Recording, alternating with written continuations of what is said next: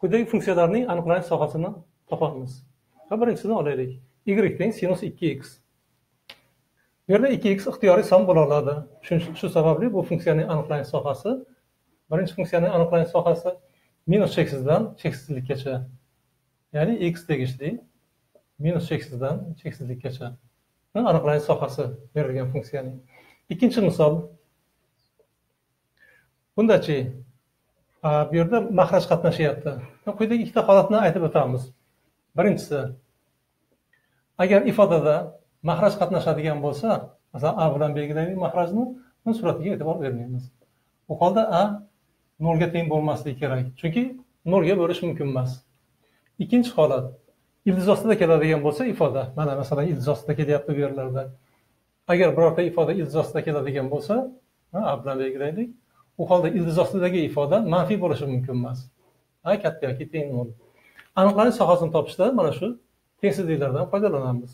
Mana masalan ikkinchi funksiyada x mahrajda kelyapti. Aniqlash aniqlanish sohasini topish uchun biz x teng emas nolga deb olamiz. Demak x nolga teng emas.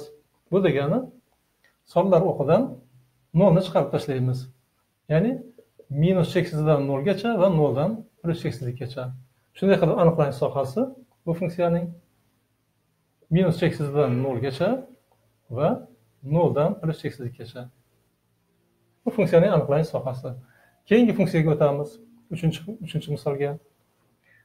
Y teng sinus ildiz x. Bu yerda ildiz qatnashyapti. Mana ildiz qatnashgan ifodalarda a katta yoki teng nol tengsizligini qarashimiz kerak. Demak bu yerda ildiz x kelyapti shu sababli x katta yoki teng nol bo'lishi kerak. Yoki bo'lmasam biz bu to'plamni quyidagicha yozishimiz mumkin.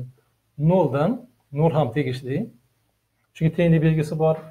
Plyus cheksizlikkacha. Shunday qilib bu funksiyaning aniqlanish sohasi noldan plyus cheksizlikkacha. Va keyingisi to'rtinchi misol. Bu funksiyaning aniqlanish sohasini toping. Demak bu yerda ildiz qatnashyapti. Ildiz ostidagi ifoda katta yoki teng nol. Mana bu ikkinchi tengsizlikdan foydalanamiz. X minus uch bo'lib x x plyus ikki katta yoki teng nol tengsizligini yechamiz. Agar shunday bo'lsa bu bu funksiya aniqlangan bo'ladi. Va bu tengsizlikni yechish uchun biz suratini nolga suratini va mahrajini nolga tenglab xlarni topamiz. Suratni nolga tenglasak x teng uch kelib chiqadi. Mahrajini nolga tenglasak x teng minus ikki ekani kelib chiqadi. Biz bu sonlarni sonlar o'qida belgilaymiz. Minus ikki va uch. Mahraj nolga teng bo'lishi mumkin emas. X teng emas minus ikkiga. Demak mana bu minus ikkini chiqarib tashlaymiz. Shunday qilib sonlar o'qi uchta oraliqqa bo'lindi. Bir ikki uch. Endi har bir oraliqni ishoralarini topamiz. Buning uchun dastlab mana bu oraliqdan birorta son olamiz. Aytaylik x teng besh. Beshni xni o'rniga olib borib qo'yamiz. Besh minus uch ikki musbat son. Besh plyus ikki yetti musbat son. Musbat sonni musbat songa bo'lsak musbat chiqadi. Demak bu oraliqni ishorasi plyus bo'ladi. Endi bu oraliqdan ham ixtiyoriy bitta son olamiz. Masalan osonroq bo'lishi uchun x teng nolni olaylik. Nolni qo'ysak nol minus uch manfiy nol plyus ikki musbat. Bizga muhimi qanday sonli ekanligi emas. Biz uni ishoralari qiziqtiradi. Manfiyni musbatga bo'lsak manfiy chiqadi. Demak bu oraliqni ishorasi manfiy ekan. Endi navbatdagi oraliqdan birorta son olamiz. Masalan minus besh. Minus besh minus uch. Manfiy son. Minus besh qo'shib ikki. Manfiy son. Mahraj ham manfiy. Minus bo'lib minus plyus bo'ladi.